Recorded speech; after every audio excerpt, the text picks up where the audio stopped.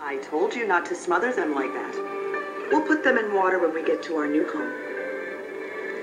I finally get a bouquet and it's a goodbye present. That's depressing. Daddy bought you a rose for your birthday. Don't you remember? Yeah, one. Just one rose isn't a bouquet. Hold on to your card. I'm opening the window. And quit whining. It's fun to move to a new place. It's an adventure.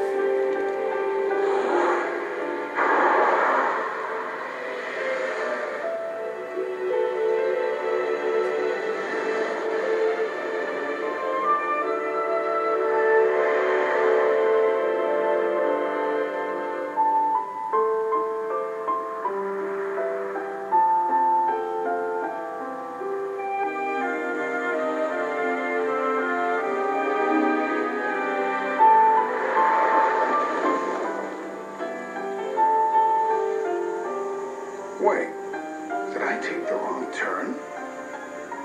This can't be right. Look, there's our house.